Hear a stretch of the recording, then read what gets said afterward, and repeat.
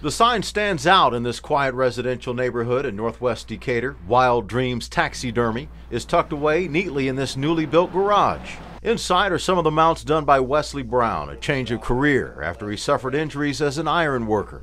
Hurt my back, uh, iron working, and, and uh, had some knee problems, and, and uh, was able to have time to be able to go to school to uh, learn that's kind of why I named it Wild Dreams Taxidermy because it's kind of happening in my wildest dreams.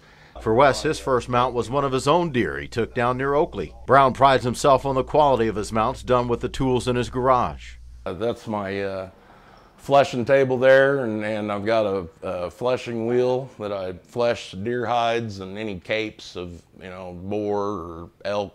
Of course, my sink, I do all that, and then Got over here, I got my, my bird flesher and then my uh, air paint station for my uh, airbrushing that I do all my painting. He admits people have misconceptions about this trade. I think the misconception of people think that it's really gross and dirty, but as you can tell, you know, there's no smell, there's, it's, it's clean. Men are wanting to take these animals to a taxidermist and the women are going, ah, you know, it's really gross but it's not. From deer to birds, even fish, Wes is ready to give lasting memories to hang around for many years.